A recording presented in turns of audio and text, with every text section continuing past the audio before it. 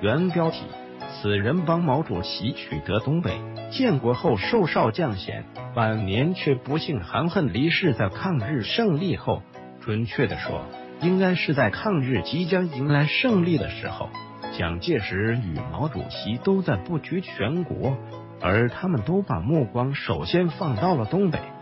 东北是当时全国工业最集中、最先进的地方。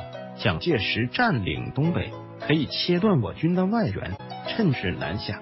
同时，东北在张作霖和日本人的多年经营之下，经济发展的非常，可以说是全国最肥的地方。当时。东北的局势非常复杂，一般人根本应付不了。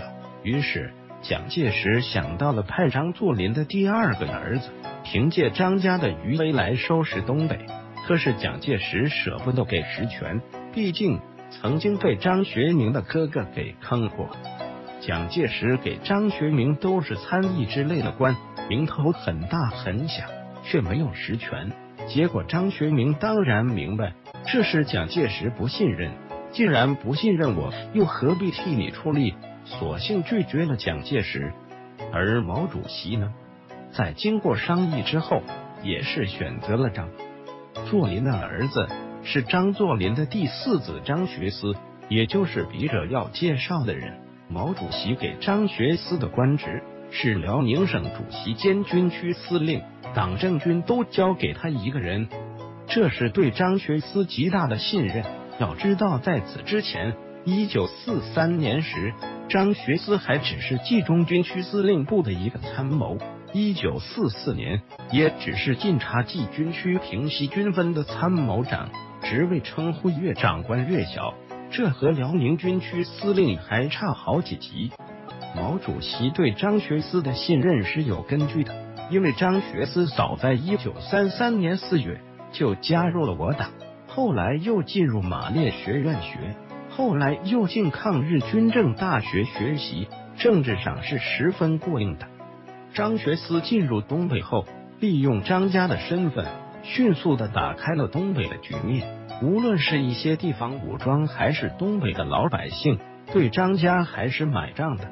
也正是如此，我军进入东北才站稳了根脚。可以毫不夸张的说。我军取得东北，张学思是要第一大功。